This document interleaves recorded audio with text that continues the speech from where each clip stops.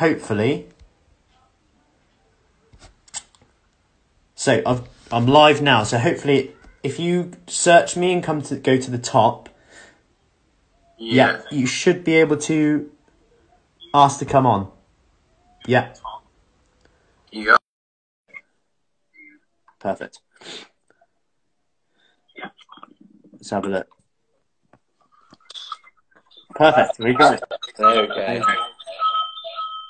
Right. I'll I'll turn off um, Zoom because there's going to be a sound. So I'll just turn Zoom off.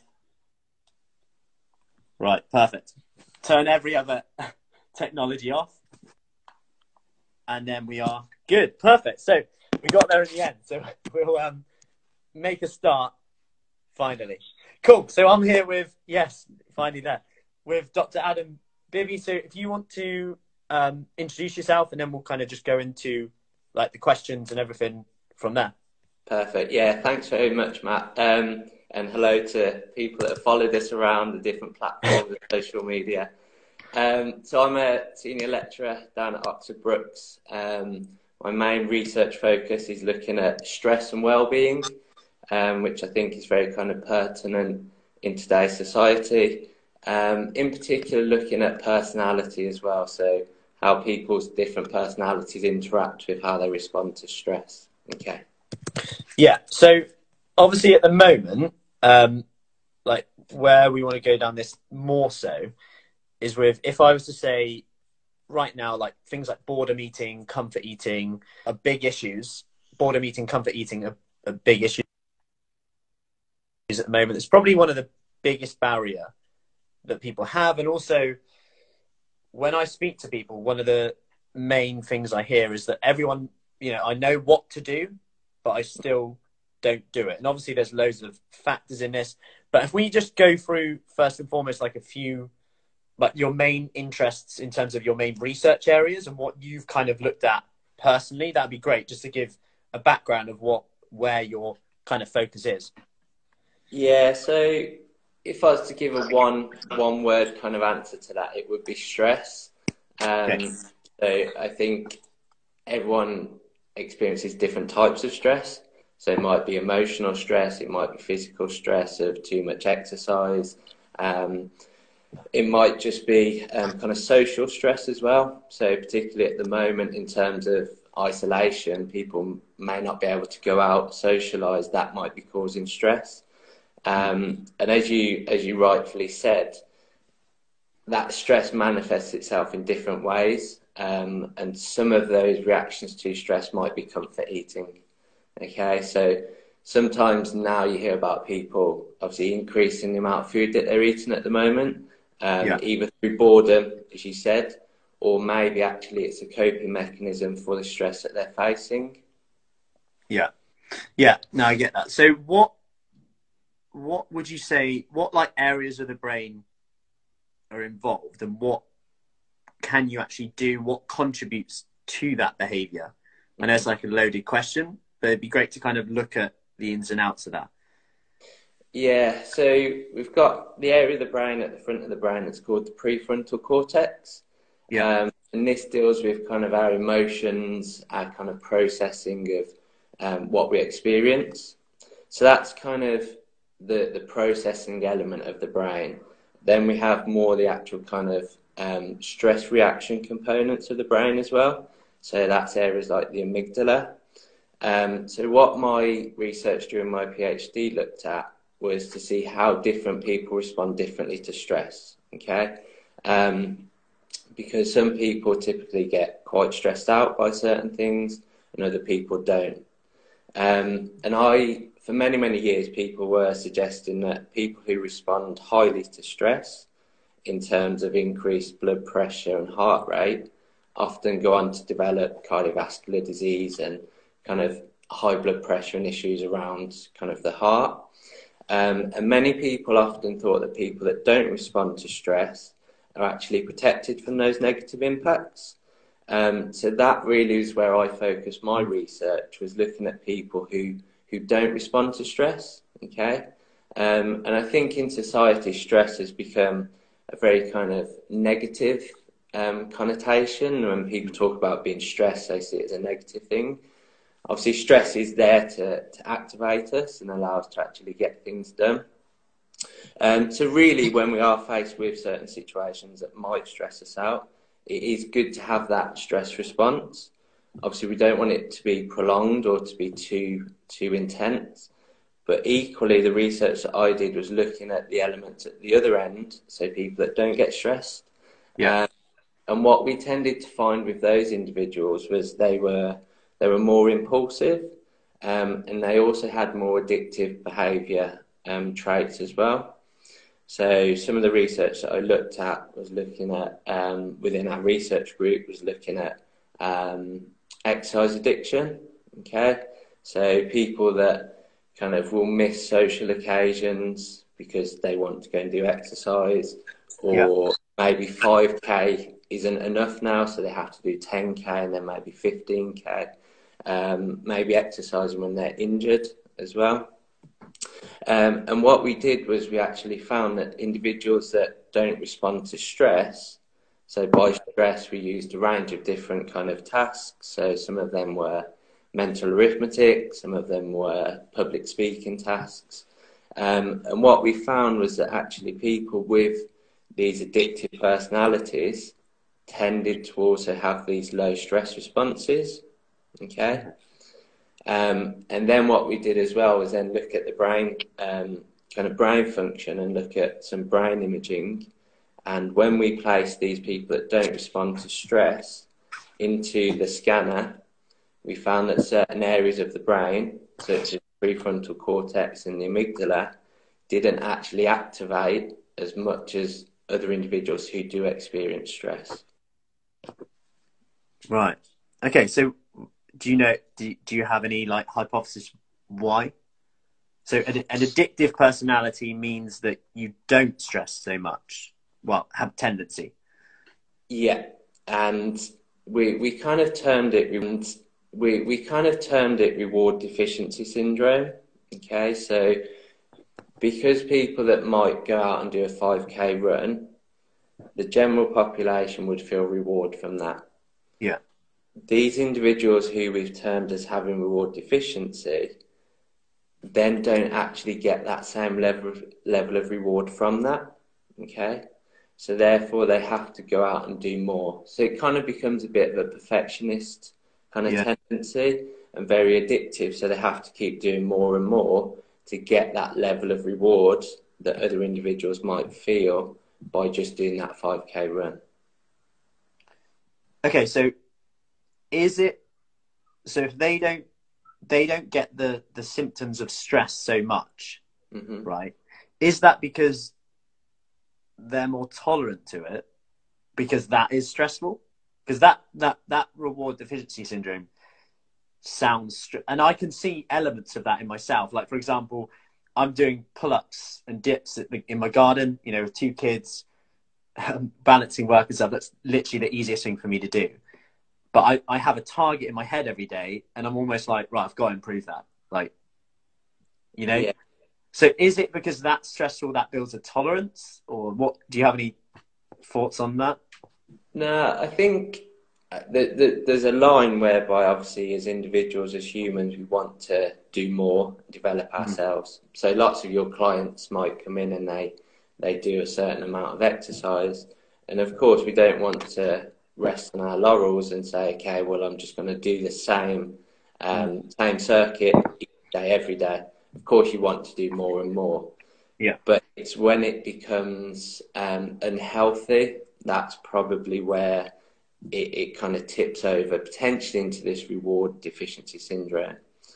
Um, and we looked at um, kind of impulsivity as well and risk taking. And we also found that those individuals who had those low stress responses were also more impulsive and more likely to take larger risks. Um, and a, a, a, kind of a key thing to consider within this as well is also that these individuals report that they still feel the same amount of stress. So, subjectively, in terms of how much stress did you feel out of, let's say, 10 extreme stress, zero, nothing at all, they still reported the same level of stress as other individuals whose actual physiological, so the heart rate and the blood pressure responses were totally different. So what that is suggesting that actually it's areas of the brain that are different. Yeah. That are actually causing different physiological responses to the stress compared to what people actually perceive. And and is there a genetic thing with that in terms of that? Yeah. Potentially, yeah. And and we, we and I think especially within kind of psychological research now, there's lots more research that is looking at those those kind of mm. DNA genetic tests. You, uh, you've probably seen lots of it out there yeah. in terms of people getting their their genes tested because then that might show they're more um, open to certain mental health conditions, certain physical conditions, and also different responses to diet as well. Yeah, yeah, that's interesting. So, with regards to the stress, if they're so people who do respond with, you know, heart rate going up, blood pressure, like you said, is that is that related to like cardiovascular, like you said, like vascular events, like before? Is that an association there, or is that something you're looking at? No, so so the the people that respond highly to stress. Yeah. So, so let's say you're asked to give a public uh, a, a speech in front of yeah. people. Okay. Um, and often you'll have your cardiovascular responses, so increase in heart rate and blood pressure. Um, and obviously, we, we want a slight increase because that's natural. Um, but at, at the same time, we don't want it to be too prolonged and actually not related to the event. We don't want it to be an extreme reaction for something that hopefully isn't too stressful to that individual. And for many, many years, people have proven that people who do have those exaggerated responses to stress do often go on to develop cardiovascular disease and heart related problems later on in life. Okay. So, so essentially, it's kind of like a bell curve where you've got yep. people here that don't respond to the stress. Here, the majority will respond to yep. stress, and then people at the far end that have extreme responses to stress. Yeah. So, um, and I know this will this will kind of come on to kind of what, what I said at the start about um, kind of comfort eating, eating, our response to it. Like, um, so I've had a question already. Michelle said, "Can the same be applied to other addictions, i.e., food?" And I guess she's relating to the exercise addiction. Maybe. Yeah, absolutely. So we looked at um, eating disorders as well. Yeah. And again, we did find that individuals with these we call it blunted responses to stress, um, were actually more likely to be um, have disordered eating behaviours as well. So yeah, absolutely. Yeah. So with the what kind of uh yeah, so Michelle said yeah, with with regards to food. So how does this interact with like eating behavior in terms of like coping mechanisms like what what's kind of at play like why is it that so let's say someone, you know, maybe has some uh, like, is there like a dopamine thing, a serotonin thing? You mentioned like reward deficiency syndrome. If we're addicted to the food side of it, are we doing it for like serotonin feel good, or are we doing it because of kind of what you said with kind of wanting more? Like, did you see what I mean? Like, uh, yeah, what's like the interplay with that? It's it's probably an interaction. It's a really good question, actually. So, in terms of that reward deficiency, that that kind of suggests that people aren't getting these hits of serotonin yeah. from normal activity. So maybe from yes, a reward eating there. It might yeah. be an element of you you might eat. Let let's take it back down. Let's say you have one burger and you feel quite good about it. Okay. Yeah. And it was nice. It was high calorie. You got a bit of serotonin. It was it was nice to taste. It was enjoyable. But then potentially these individuals with this reward deficiency syndrome don't feel the same level of reward as somebody else from having that food. Okay. So therefore they have to go and eat more of that food. Okay. So yeah. it might be a chocolate bar rather than just maybe one chunk, two chunks of chocolate, and getting that hit of serotonin. Individuals with this reward deficiency might have to go and keep eating and eating to get the same level of reward as someone who might just have two pieces of chocolate and get that same level. Okay. It's fascinating because like these are like chats I have a lot. So I'll chat to one person, they'll be like, "Yeah, I have my two squares of dark chocolate in the evening, sorts me right out." Obviously, yeah. there's so many things at play, right? So they might be just in a good mood. They might have had some good news, so two chocolate does it. Whereas on another day, if you're stressed, tired, it might not. But also at the same time, someone I had a chat earlier, and someone was saying how they can have a curry or whatever a meal, and they like the taste, even though they're full up. They just want more mm-hmm. of that, and it's like I I know I'm full up, but I'm wanting more. And you feel like that could be related to that reward? Because they're, they're kind of loving the, the taste, the feeling of that reward. Yeah, and it's having that having that kind of psychological awareness or self regulation to say, okay, that's enough. Um, and that's maybe where kind of portion size comes into it. So there was a kind of a classic experiment that I think was done over in the in the States in America. Yeah. It was called the soup bowl experiment. And what happened was there was two bowls of soup, and for the one group of individuals, the soup just continued to fill up from the bottom, and people just continued to eat. Yeah. Whereas for other individuals, where if they finished the bowl, they had to go and ask for another bowl, they actually consumed less soup compared to the other individuals where it just kept refilling from the bottom. And that's that's kind of behavioural economics, and that's what happens a little bit now on Facebook and Instagram, where if you watch a video on Facebook now, it often just rolls over to the next video. So it's that kind of continual loop that you just you're in it at the moment. You're in it and you have to break out of it, as opposed to coming to a natural end at the bottom of that bowl of soup, and then having to go out your way to actually go and get another bowl.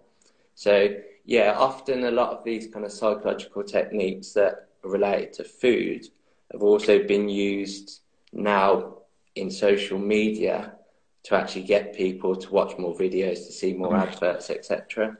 So yeah. I think it is having that self control to say, okay, yes, I've eaten a certain amount of chocolate now. I'm happy with that.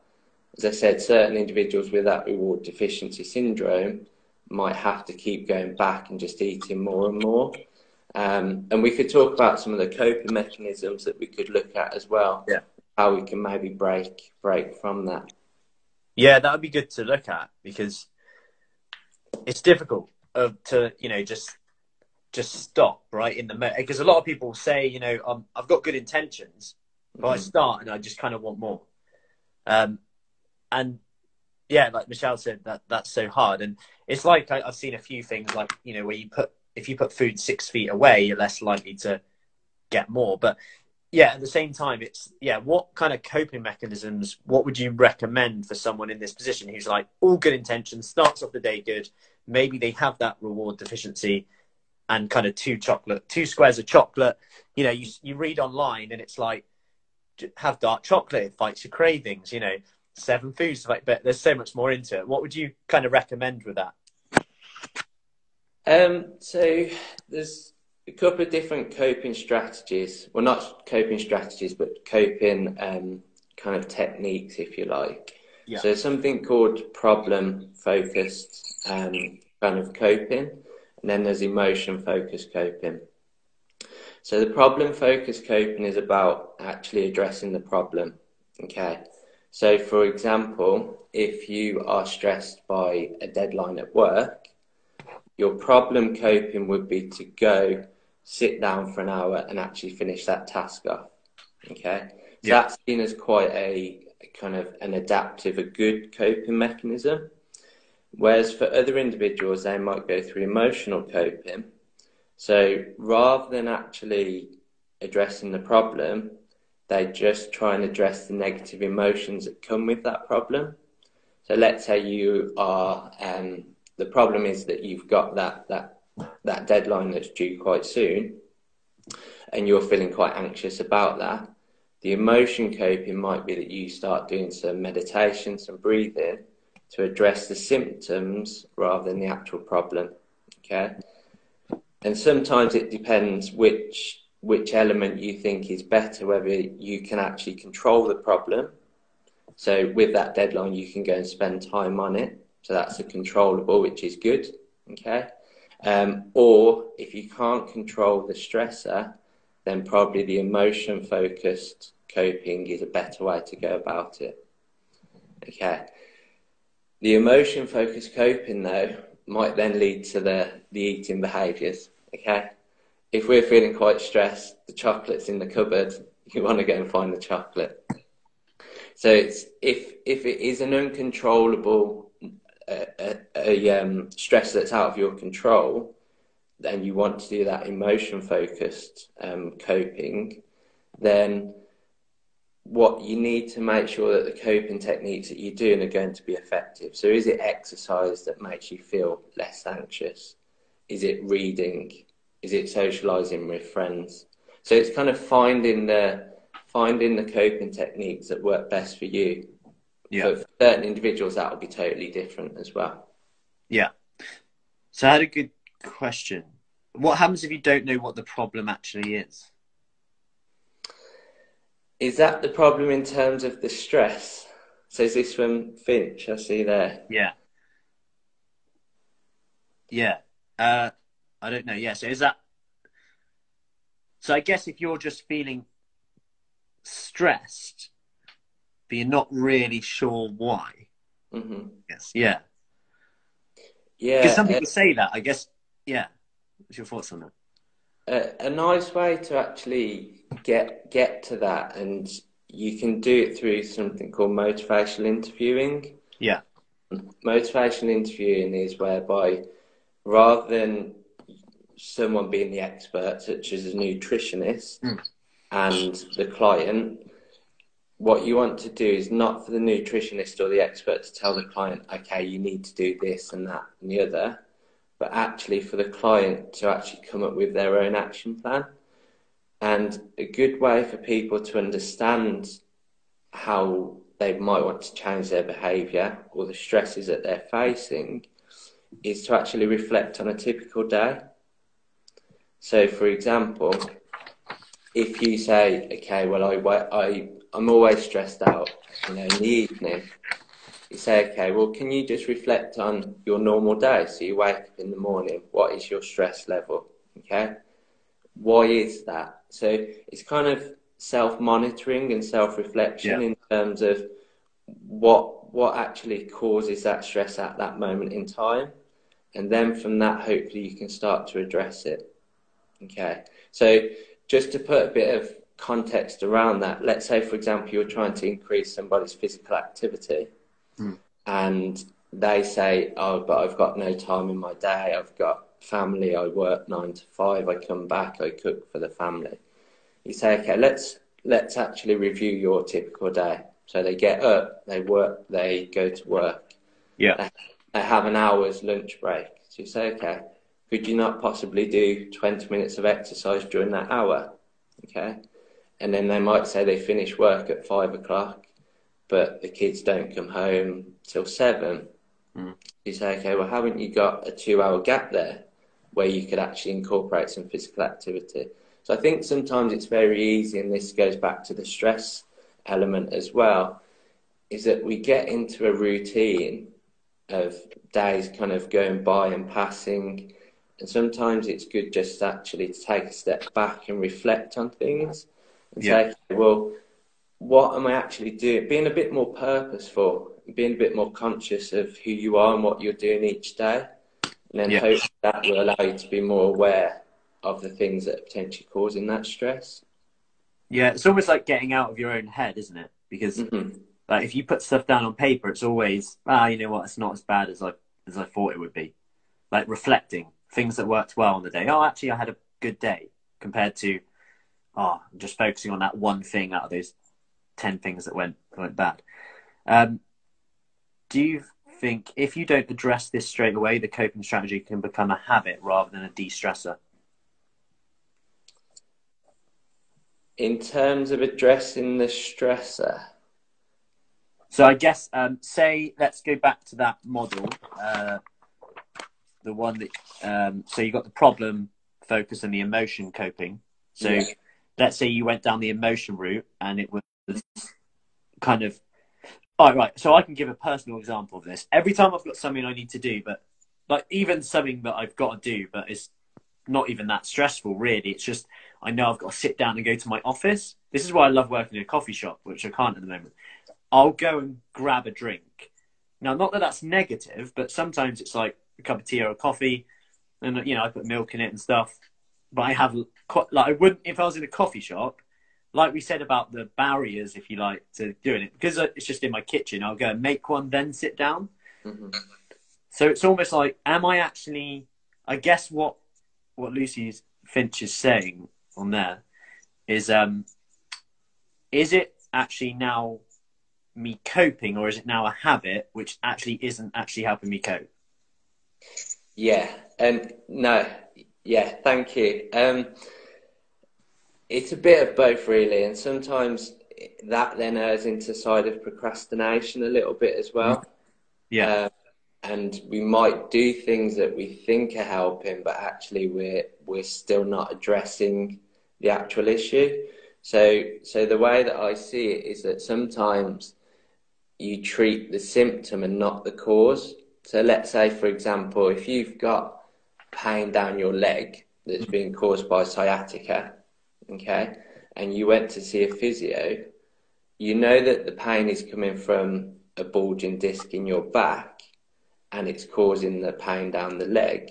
You don't want to necessarily treat the pain in the leg, you want to treat the cause, which is actually the disc in the back. So, absolutely, I think sometimes it would be easy just to, to rub your leg or to do a coping strategy that you think is actually solving the symptom, but definitely you need to try and actually address the problem or the cause of the issue for in the long term to have a, have a positive impact.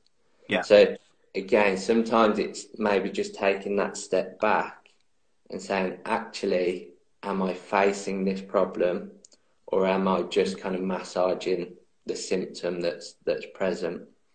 Yeah. Um, and I think as well, that goes back to how we perceive stressful situations. So we can either perceive it as a as a challenge, okay, and activate and approach that situation, or we can see it as a threat, and then we try and avoid that situation. Mm. And it's all about how we how we actually change our perception of that that specific stressor. And the reason that we get stressed, there's two different types of stress, as I mentioned before. There's positive and negative stress. So, first of all, when you're faced with a potential stressful situation, you undergo something called primary appraisal, which is kind of like your first thought process of, hmm. Does this actually matter to me? Okay. So, for example, if you've got um, if you've got that deadline that's coming up, does that actual does it does it actually matter if you get it in on time or not? Is it just a soft deadline? If it's a soft deadline and it doesn't matter, then you're not going to get stressed by it because it, you don't really care about about the outcome of that. But if it does matter, you will then go through something called secondary appraisal, which is kind of like your second second thought process. And this is where you weigh up your resources so, kind of what time have you got to spend on that deadline and the actual demands of the situation. So, let's say your deadline is 5 pm today mm. and you've got three hours, three and a half hours. You look at the resources that you've got and say, actually, would I be able to complete that work within that three and a half hours? If you can, then that will make you sit down and spend those three and a half hours working on it proactively to get it done by the deadline. Yeah. So that positive stress, that's activating. That's when we see it as a challenge. So we're like, okay, three and a half hours, let's crack on. The negative stress is when we actually don't perceive our resources to meet the demands of the situation. So let's say, for example, we know that it's going to take around three hours to complete this piece of work, mm. but we know that we've got to go and pick the kids up, we've got another meeting. So actually, we've only got an hour and a half worth of time to actually dedicate towards that task. That's when it becomes negative stress because your perceived resources that you have, i.e., the time that you've got to spend on it, isn't actually going to meet the demand of the situation. So it's about how we change our perception of our resources and the demand of the situation to hopefully allow that stress to be a positive experience as opposed to a negative one. Okay. Yeah. So if we were to go back a little bit, just before I forget this question, um, how common is reward deficiency syndrome? Because obviously, like when you say that, a lot of people might just see themselves in that and go, "Yeah, yeah, that's that's what I've got."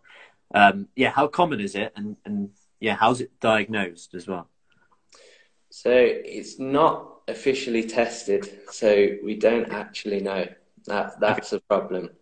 Um, and I, during my PhD, I was kind of thinking, you know, what are the long-lasting effects of of the research that I was doing? And I was thinking, well, is it possible within school children to actually give them a, a stress task mm. and actually look at their stress responses? because then if people are having those high stress responses, which then might go on to lead to cardiovascular disease and heart heart related um, kind of issues, could we then give them the coping mechanisms to allow them to reduce their stress? And then equally, the individuals who demonstrate those low stress responses, could we then make sure that we support them so they don't engage in risky behaviours and addiction? Um, unfortunately, that that's not really possible, but that would be the ideal thing. So, in terms of the question, how how prevalent is it? Unfortunately, I don't have the hmm. answer to that. No, that'd be that is fascinating. So, yeah. So, uh, do you think that the people? So, would you would you say that the the deficiency, reward deficiency syndrome, if people have low stress, so they have a, a, low stressful response, that they can still be then addicted to food though? Or is that more of an emotional com- emotional comfort?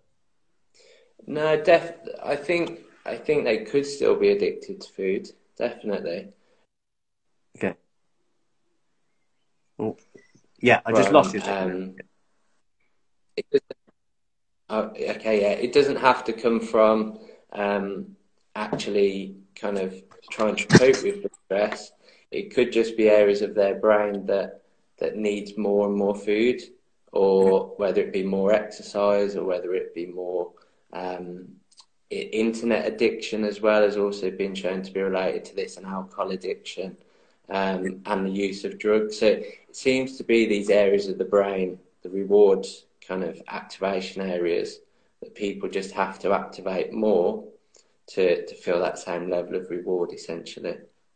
Okay. So what what other like behavior change models, techniques are recommended, especially for, for people with that kind of addictive if they're looking for that reward more and more and more, what can people do instead? I know we've we've touched on a few things already and that they're going to kind of range, but is there kind of something, some model or anything that people can look at to use and apply? Yeah, um, so it's different behaviour change models, and lots of them out yeah. there. The trans theoretical stages of change model, um, a theory of planned behaviour as well. Um, so from from the theory of planned behaviour, there's kind of three different elements that mm. suggest a kind of the three factors that lead into our intention, and then intention leads into the behavior. The first one is the attitude. So, what is our attitude towards exercise or towards healthy eating? Okay, so we might have a positive or negative attitude. So, we might think that actually exercise isn't that good for us, therefore, we get hot and sweaty, don't particularly enjoy it, don't want to do it. So, we want to try and change the attitude towards that to be a positive attitude. The other element is also our social norm. Okay, so what is our perception of how much exercise other people do? Okay, mm. and what type of exercise and what intensity and for how long do they exercise? And then the other element is how much control we perceive over that situation. Okay, so do you think that you actually have the ability to go out and do 10 minutes of exercise walking around the park? And what we want to do really is create a positive attitude, get that social norm, people's perception of the social norm, which is kind of what are other people doing, to be realistic, and also allow them to feel in control as well. So rather than asking someone to go out and do a 10k run, where they might not feel much control over their ability to do that, why not start low and get them to do little bits of kind of small doses of low intensity exercise so they feel as though they have the control to do that. Okay. If we can kind of um, address those three elements, those three sources, that will lead into the intention to go out and to do that exercise. And then we need to change that intention into the behavior. The big thing is there's always a gap between intention and behavior. Yeah. Okay? We always have the best intentions in the world sometimes to do something, yeah, and it doesn't actually always yeah. come out into the behaviour itself, okay, and that's where we can bring in these behaviour change techniques, which allow us to change that intention into that behaviour, okay.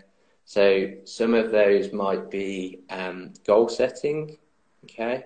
So if you intend to go out and I don't know accumulate 10 miles of walking over the week, then rather than just saying, okay, I intend to do that Monday morning, by next Sunday evening I'll do that, why not break it down into smaller goals?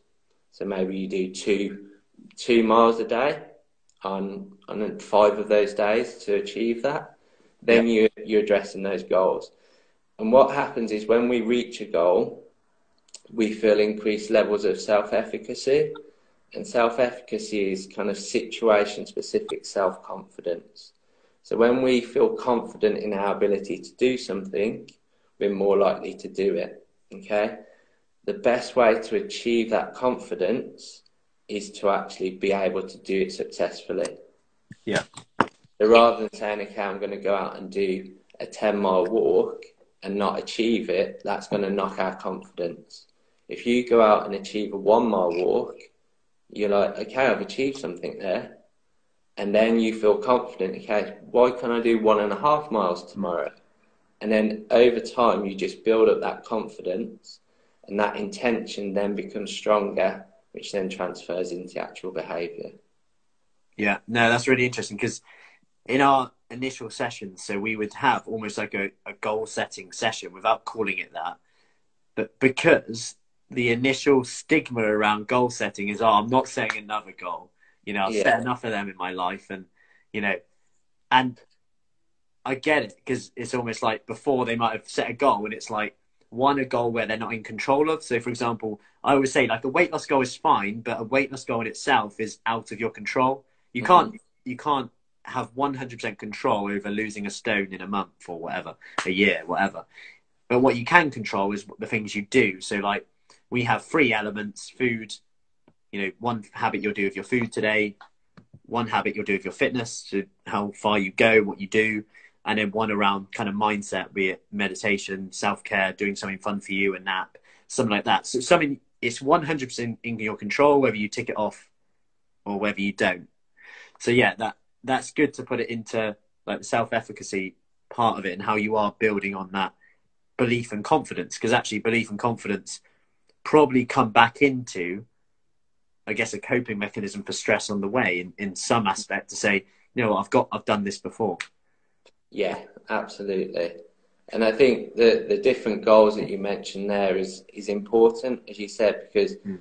you want to have that long term goal, the outcome goal, but then you also want the little processes as well. So as you said, the the weight loss might be the outcome goal that just happens by the small processes that you do every day. So yeah, definitely yeah.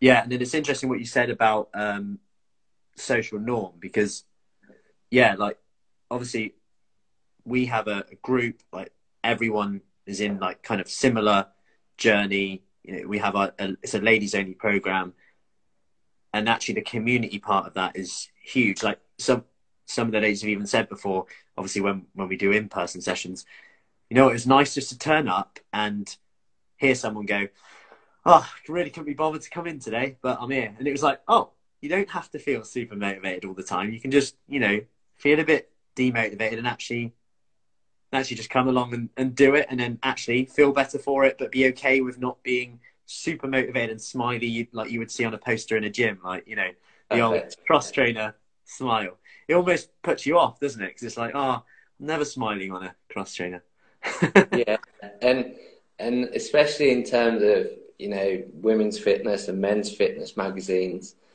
one obviously there's lots of airbrushing that goes on um, to put on the cover, but also at that time that those photos are taken, those individuals are often they've increased their weight and then they've decreased it, so yeah. it's not a sustainable thing. Um, and it, as you say, it can put a lot of people off. So it's looking at the social norm of, well, what about the the mother that's had two children? What about the dad that works, you know, mm. twelve hours, four shifts for the NHS four on, four off, and it's yeah. being realistic with that social norm and not not looking at the goal as being too big and unachievable because then you will feel no confidence in your ability to actually achieve that. You yeah. need to actually look at something that is realistic and it is challenging. And again, it comes back to that stress response of what is the demand and what are your resources if the demand is realistic but it's challenging, then you will feel the confidence to actually go out and approach it. If it is too unrealistic, that's when you'll avoid it because as humans, we don't like failure. So we will actually just withdraw from the situation. we won't turn up to the class. We won't try and do any exercise because you think I'll never be able to actually achieve that goal. Yeah, no, that makes some sense. And from another I guess aspect if you go towards like the eating side of it, like, I guess you've got so you know they do like I've seen a few studies back um, where people's decisions are influenced by what other people eat. So I guess you got that aspect as well. Like, you know, if people around you always have those foods and you're like, you know, say you go to work and you bring in a salad, but you usually get, I don't know, you go out every lunch and you get burger and chips or whatever, and you bring the salad, that's I guess it's the difficult environment, isn't it? Which makes it not normal and not something you maybe even want to do, or or maybe you want to do it but you don't want to do it because it's not the norm. I guess that's yeah. a big thing as well, isn't it? Like especially if you've got family back at the moment in like a lockdown kind of position and you know everyone's bringing in different foods and stuff and you're like oh i wasn't not used to being around this this amount of food and it's like oh you're not are you being boring if you're not having a drink da, da, da, da, da. like you know stuff like that, that that comes into it um yeah does that make sense any any kind of uh, evidence around that scenario or suggestions around that scenario yeah no we are definitely influenced massively by what other people do around us. So there's it's not necessarily related to food, but I think it the the concept of it relates quite quite nicely back. Um, so that was in terms of there was a, a study done in a doctor's surgery in the waiting room, and what this study wanted to do was to see how influenced people are by others around them. So what the researchers did was they actually stood up in the waiting room, and for no particular reason, yeah. And the other the other patients that were in the room were then looking around thinking, why are these people stood up? and then they actually started to join in and oh, stood up, and they didn't know why they were stood standing up. But we are just influenced yeah. by things around us. Um, also, implicitly, so things that we aren't consciously aware of, also are used sometimes in kind of commercial settings, and that's called nudging. Um, so these things are kind of things that people might do to get us to change our behaviour. Okay, um, so we might see it if you go to the supermarket. What is often at the supermarket checkout, single chocolate bars and yeah. things like that. So they're the nudges that you go, oh, okay, I've done the shopping now. That'll be a nice little treat for when I get back mm-hmm. home. So we can use those nudges for ourselves in terms of rather than having, I don't know, fizzy pop on the on the table at dinner, why not have a jug of water instead? Yeah. Okay. Um, there's also nudging that happens in underground stations as well. So they did this over in Barcelona and in Singapore in the, the public transport um, stations. It's called a point of choice prompt. So when you're faced either with the escalators or the stairs, which one do, which one do you take? Um, and these point of choice prompts have had little messages on them saying things like 10 minutes of stair climbing a day, protect your heart. Yeah. And that's changing that behaviour attitude that I mentioned before. So then people's attitude of, oh, the stairs, and you know, I'm going to get a little yeah. bit sweaty.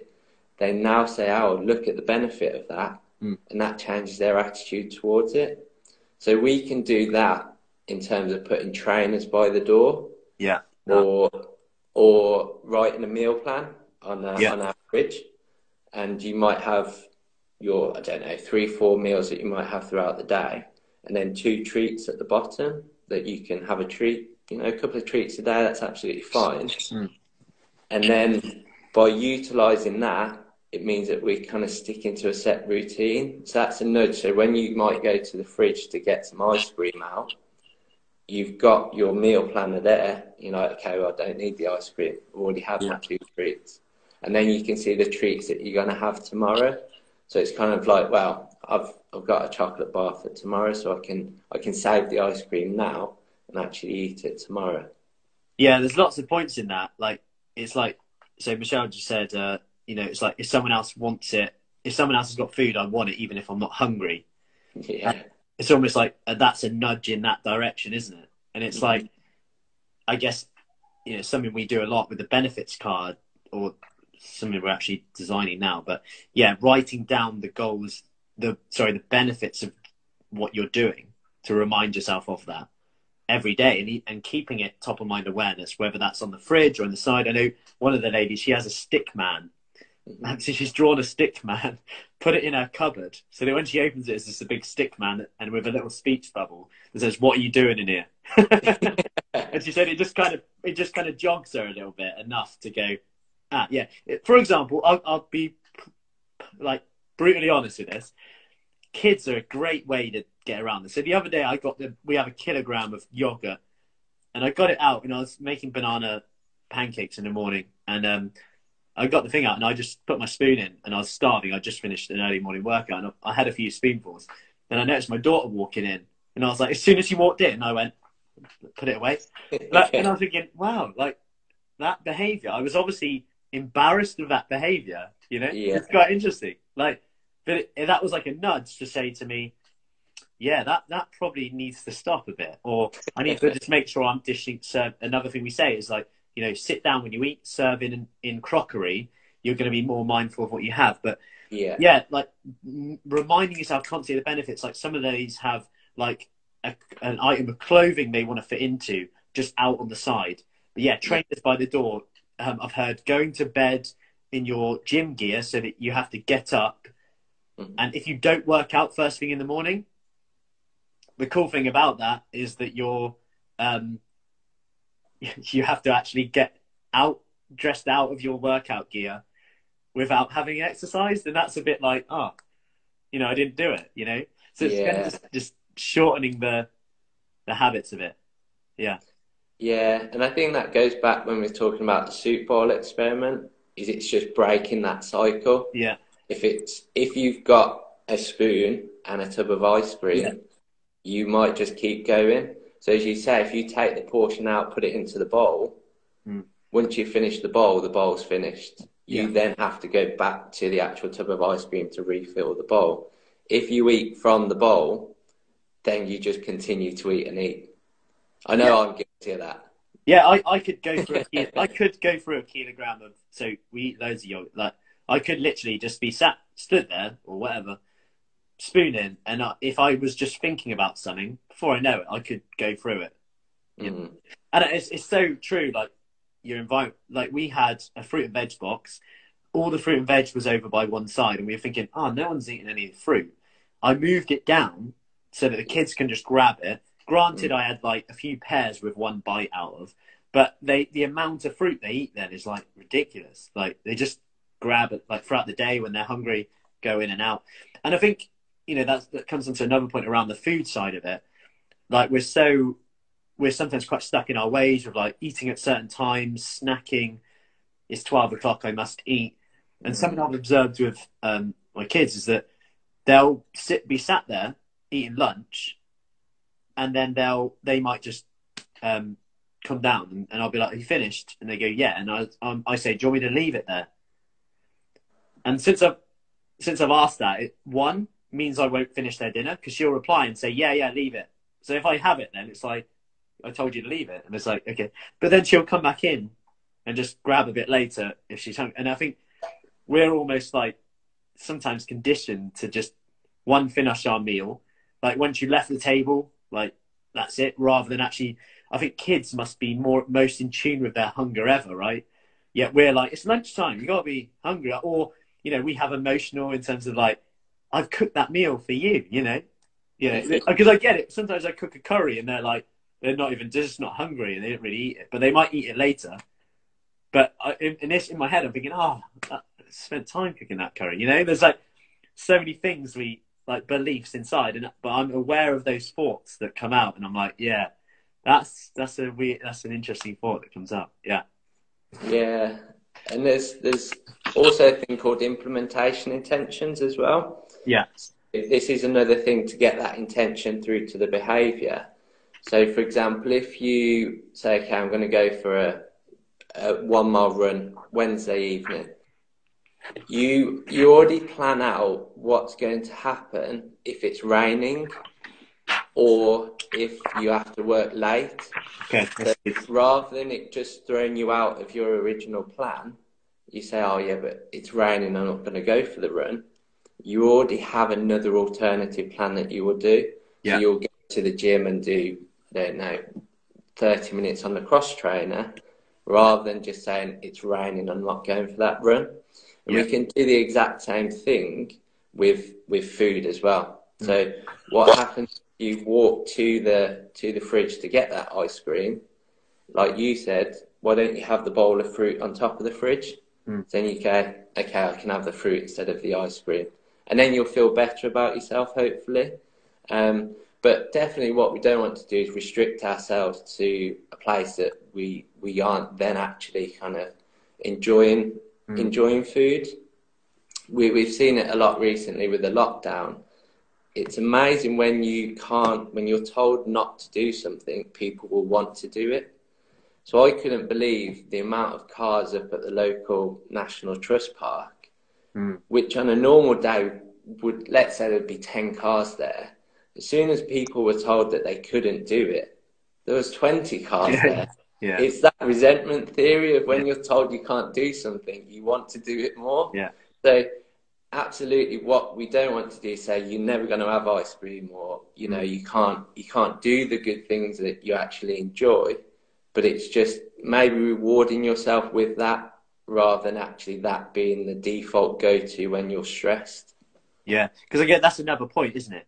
If you only have it when you're stressed, it's always going to make you feel better because you're stressed, right? Whereas maybe if you try and have it in the morning when you're not stressed, it might just start to create a different relationship with it. yeah You know, so of course anything's going to make you feel better when you're stressed. But if you're, Mhm. because then we start to associate, I guess, a Snickers bar or whatever with feeling better, right? But with the implementation intention thing you mentioned, it's a really good point. Like we have like five minute and ten minute workouts um, that people can do. So if they are short on time, they can get that that done in that. Yeah. Cool. Perfect. So yeah, I think we've covered quite a lot in there actually. Um, yeah. Anything else you kind of want to add to that at the moment? Oh yeah, with the uh, fruit thing as well. Uh, one of these also puts, and you mentioned the fruit on the top again. She's actually had quite a lot of success by just putting an apple in front of like where the chocolate biscuits, biscuits crisps are, and stuff. Just just as a, a reminder. Um, and I know the other evening, um, my wife, not blaming, but you know, she brought in some chocolate. It was dark chocolate, all good, but almost sometimes that makes it worse because I know it's healthy, so I might ask permission. But yeah. anyway, it's there, and I'm watching the film. And I'm thinking, I'm not even hungry. And then all I did was slid it. I just chucked it to the other side of the living room, and then it was like, ah, yeah, I'm good. Yeah, um, cool. So, yeah, where can people learn a bit more about your research or what you do, or is anywhere you, or any resources that you recommend and, and stuff like that? Yeah. Um, c- can I post something on your Facebook page? Yeah, yeah. Please do. Yeah, yeah. That'd be great. Yeah. Post it on there, and then um, we'll go from there. Obviously, um, some of those who are in here now will be in the Q and A on Thursday too um, yeah. in our group. So that will be on on Zoom. So what will be cool is that they they've probably got a lot from this, but then they can go away and actually get into more like nitty gritty questions, and we can kind of work through them together um, on Thursday yeah. as well. Yeah, absolutely, and probably a good the the thing for for the people watching to get the most out of it will be to bring some personal questions as well. Yeah. Um, don't be afraid to ask those, and I if I can't answer them, I'll be truthful and say not sure, but yeah. I can definitely say, have you thought about this, or have you thought about you know, approaching it in this way. Um, I don't know if people practice mindfulness as well. Um, that's another big thing that's come out in the kind of the addictive behaviour kind of realm, um, in terms of making people more consciously aware of what they're doing in that moment. Um, and you can do it sat in front of the telly and um, you can do it at any moment. If you, you feel that urge to want to go and get a snack, doing a little bit of mindfulness is is really beneficial. So maybe again, if people want to ask questions around kind of breathing techniques, mindfulness, etc., feel free to to bring them to the Q and A. Happy yeah. to help. Perfect. Brilliant. Yeah. that's great. Thanks, Thanks very much, and thank all the viewers and your your nice comments as well. Yeah, and we got there in the end. We did. Lovely. Facebook, Instagram, Instagram one. So I will post this replay up on the podcast and also on my Facebook page. Um, okay. Yeah, brilliant. And if you could post that, that'd be great.